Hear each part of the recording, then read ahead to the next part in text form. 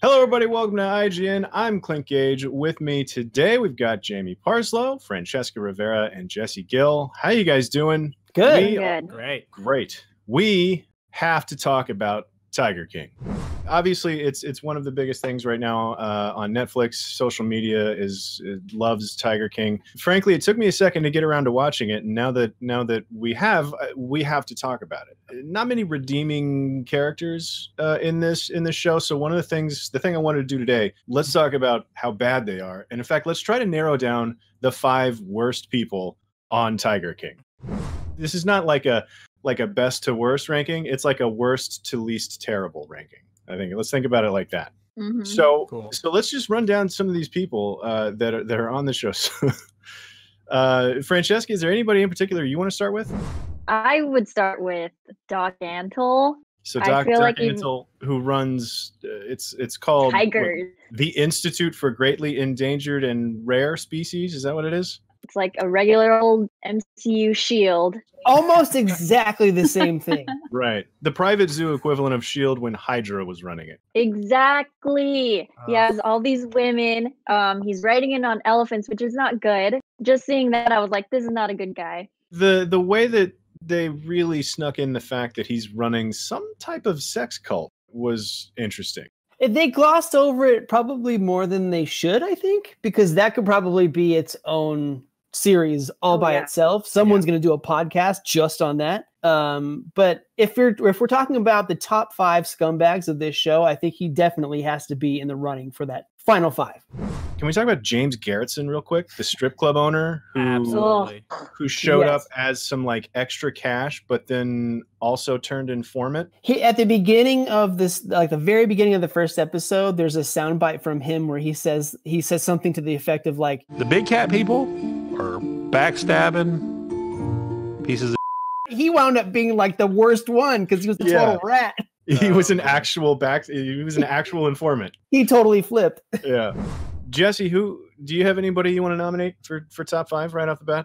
There are some obvious ones that are for sure going to make the list, but I mean, I have to throw Jeff Lowe in there. He's the guy who bought Joe Exotic's park and then Yeah. took it from him. And it seems like that's kind of how they described him in the show as this like masterful con man. That's probably what his end game was the whole time. So I think he's definitely up there because he now owns this. Whatever bad practices were happening at the park, he says that's all like not going to continue moving forward. But yeah, we'll see.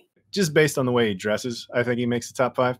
I, if you if you're if you're I mean look I'm no fashion expert I'm definitely Mhm. not that but if you're tying a bandana underneath your flat billed straight baseball hat that's a red flag So Jamie, how about you?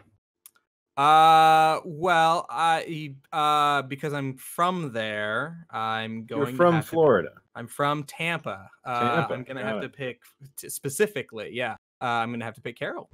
I think Carole is maybe not the worst worst, but definitely up there in terms of like shady dealings and not uh, truthful about what's happening or or even where she came from and how this all uh, came to be. Carole's journey was a pretty fascinating one because yeah, at the, at the beginning it was like, oh, she's she's running the rescue or whatever, and then after maybe the first or second episode, where I was thinking like, well, she's just as bad as these other people because she's like under the guise of like she's rescuing all the big cats. So I was like, oh, she's actually worse because she's pretending to be something that she's not. And then the show continued, and I was like, oh god, she killed her husband, maybe.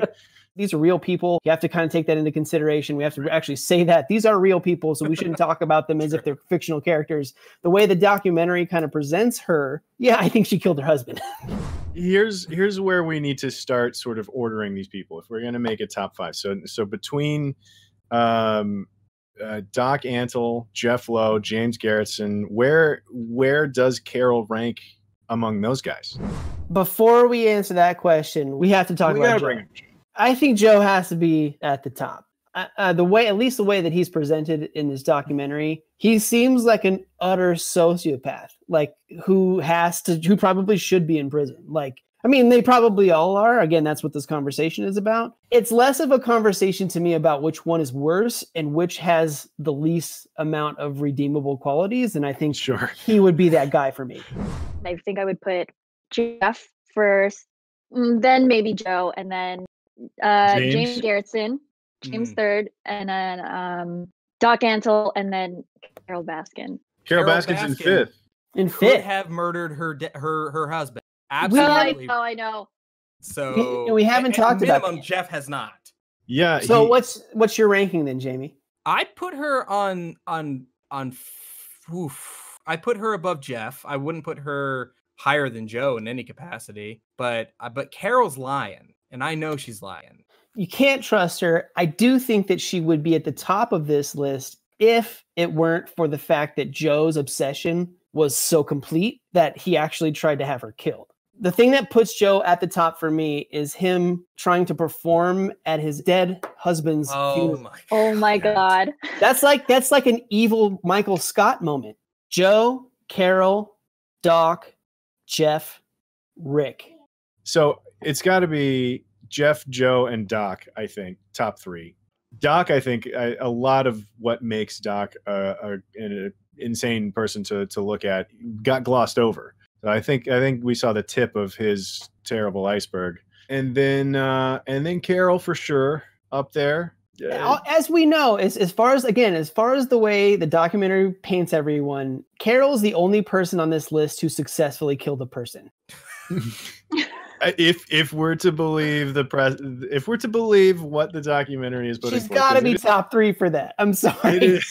So that look, I don't know that we nailed down a real specific top five. I don't know that we need to. Frankly, uh, they're all up there, close to. They're tied for worst. Let's be honest. Um, but let us know what you think uh, about Tiger King down in the comments below. Um, and uh, what do you think about Tiger King? And all? Or do we need to get a season two? I don't. I don't know that. But convince me otherwise down there in the comments.